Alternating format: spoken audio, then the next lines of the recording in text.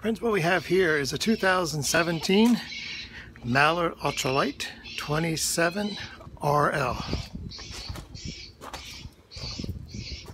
Real nice unit here.